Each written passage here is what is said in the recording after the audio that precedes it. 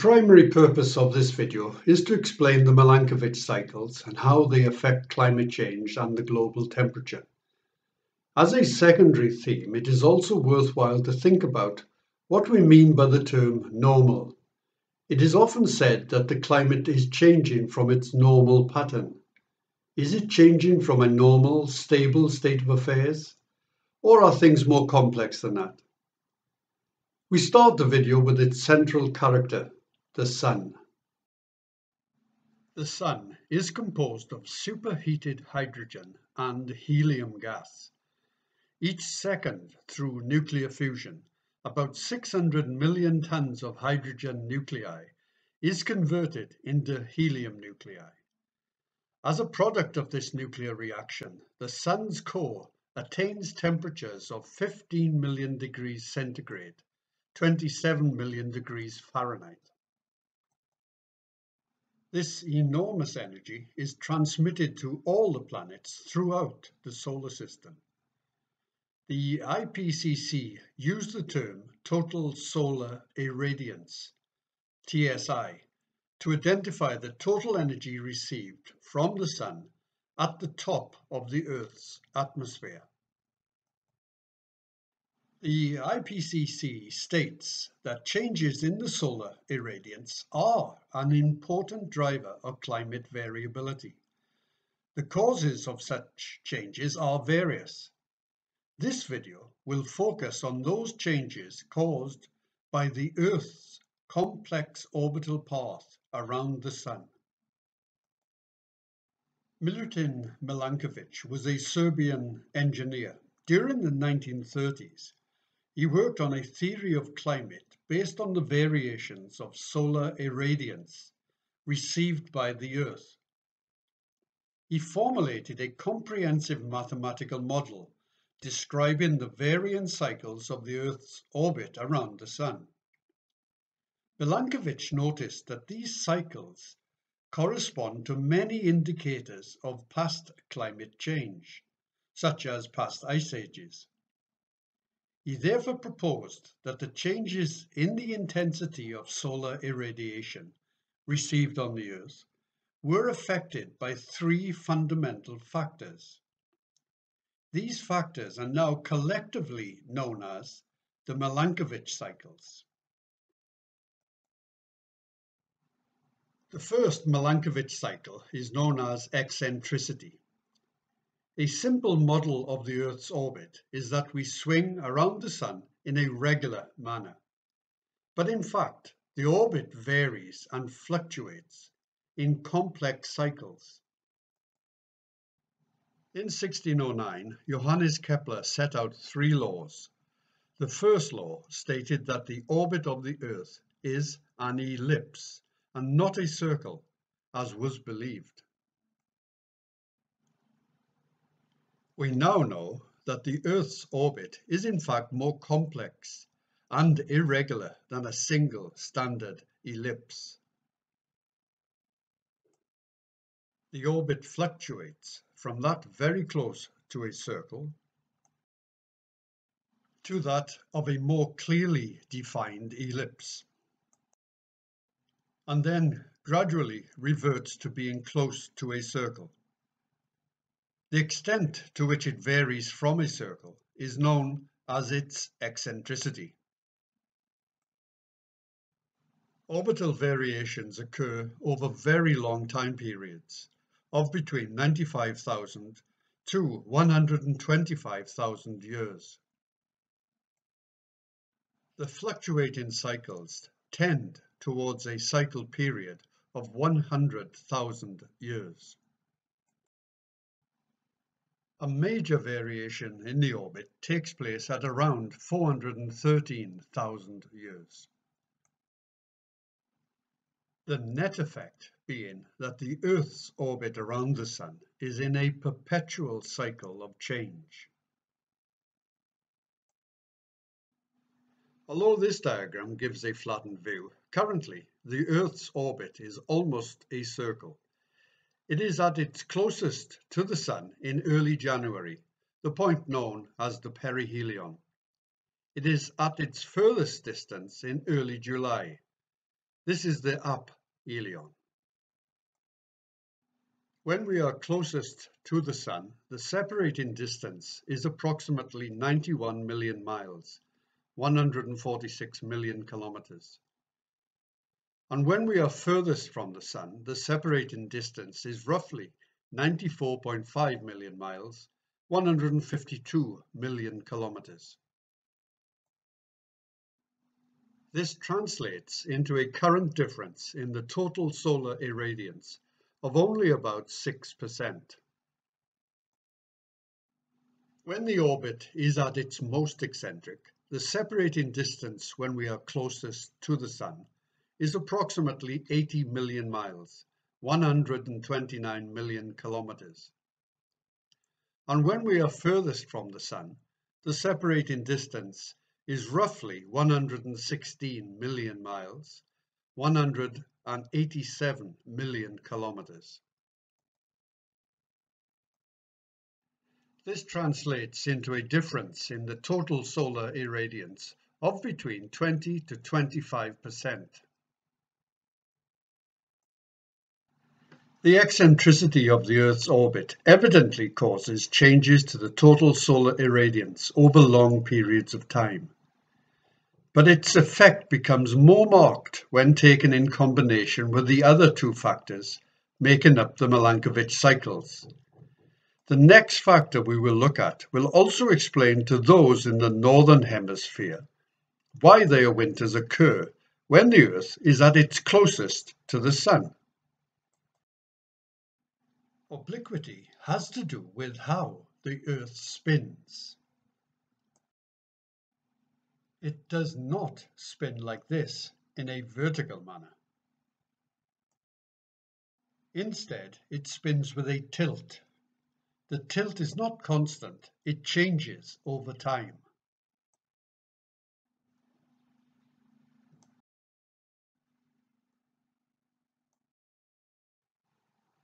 Currently, the axial tilt is about 23.5 degrees from the vertical.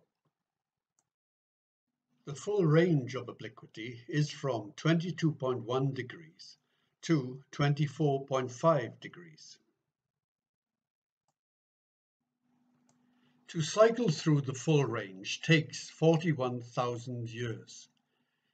During that cycle, the tilt does have a significant impact on our climate. In the first instance, it explains how we have seasons and why currently the Northern Hemisphere experiences summer when it is furthest from the Sun. If the axial tilt did not exist, then each location on the Earth would experience an almost consistent amount of solar irradiance throughout the annual cycle. There would be a slightly increased solar irradiance when the Earth approached the perihelion, but this would not amount to anything like the seasonal change we currently experience. But because of the factor of obliquity, the northern and southern hemispheres experience varying amounts of solar irradiance as the Earth goes through its orbit. In December, the Earth is almost at the perihelion. Due to the axial tilt, northern hemisphere is tilted away from the sun and the southern hemisphere is tilted towards the sun. Thus, the sun shines directly on the southern hemisphere, but indirectly on the northern hemisphere.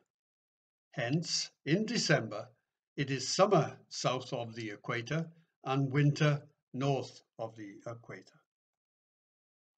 Moving to March, the sun's rays are more evenly distributed. So it is autumn south of the equator and spring north of the equator. In June, the Earth is almost at the aphelion. Because of the axial tilt, the sun shines directly on the northern hemisphere and indirectly on the southern hemisphere. This provides summer north of the equator and winter south of the equator. A point to note is the tilt of the northern hemisphere more than compensates for the approximate 6% loss in solar irradiance received at the aphelion. In September, the sun once again shines almost equally on the southern and northern hemispheres. This results in autumn north of the equator and spring south of the equator. There are further variances to the seasons and climate. Not only does the angle of obliquity change over the cycle of 41,000 years, but the Earth's orbit is also going through its cycle of change.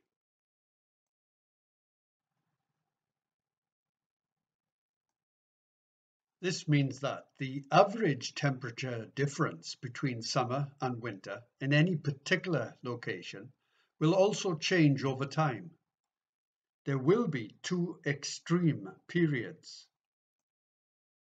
the one extreme is where the axial tilt is furthest from the vertical and the perihelion is at its closest to the Sun, thus resulting in a maximum of solar irradiance.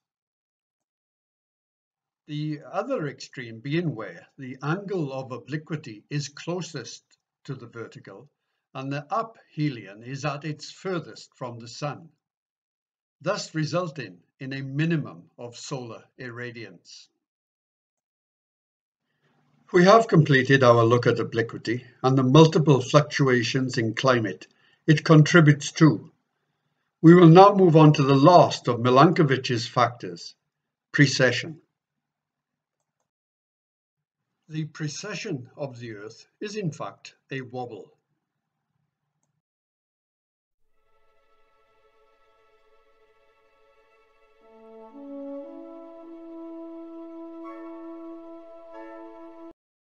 It results in the Earth describing a cone over time as it points to different areas of the sky.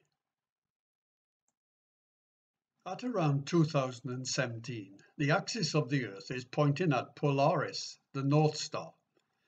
Due to precession, it will gradually arrive at a point where it would be pointing at the star Vega. When this shift does occur, Vega would then be considered the North Star. The full cycle of precession, when once again Polaris is considered the North Star, takes around 26,000 years. Earlier we looked at this example of extreme low solar irradiance where the aphelion is at its greatest distance and the axial tilt is closest to the vertical. When we factor in precession, there will be further variations in the seasons and a further extreme as the cycles of precession and obliquity coincide. One extreme being where precession tilts the Earth even further from the Sun. Another being where precession tilts the Earth closer to the Sun. Precession also influences our seasons in another way. We are accustomed to the peaks of the seasons, summer and winter, occurring at the extremes of the Earth's orbit, at perihelion and aphelion. This strikes us as logical and the normal state of affairs. But actually, it is just a coincidence. The coincidence comes about because in the northern hemisphere, currently, the perihelion coincides closely with the winter solstice. The determining factors of the seasons are the times of solstice and equinox, where we experience with the solstice the shortest days and longest nights, and with the equinox the two times of the year where day and night are of almost equal duration. Our current situation is like this, but due to the combined effects of precession, obliquity and eccentricity, the equinox and solstice move westward relative to the stars, while the perihelion and aphelion move eastward.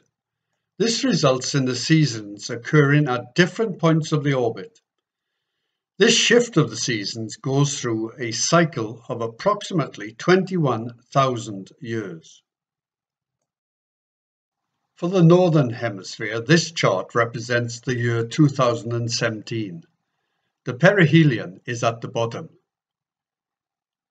If we move forward a quarter of the 21,000 year cycle, this would be 5,250 years in the future. Spring would then occur at the perihelion, not the winter as now. In 10,500 years' time, summer would occur at the perihelion, which is the reverse of our present situation. Moving forward 15,750 years in the future, we will attain the same state as that which existed 5,250 years ago. As the seasons go through this cycle, the severity of winters and summers will change, as will the average temperature. The historical variations in temperature have been mapped to the Milankovitch cycles. When sediment cores for the past 2 million years were examined, it was found that the global average temperature cools by 4 to 10 degrees every 40,000 to 100,000 years and then warms back up again. Now this seems to strongly correlate with the periodicity of the Milankovitch cycles. But there are discrepancies. For example, there have been glaciations occurring roughly every 100,000 years for the past 1 million years. But before that time, glaciation periods occurred at intervals of about 41,000 years.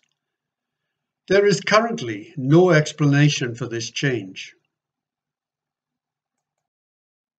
So I think we can summarize that although Milankovitch's theory was more or less ignored until 1976, studies of deep sea sediment cores have demonstrated a correspondence between periods of climate change and the Milankovitch cycles.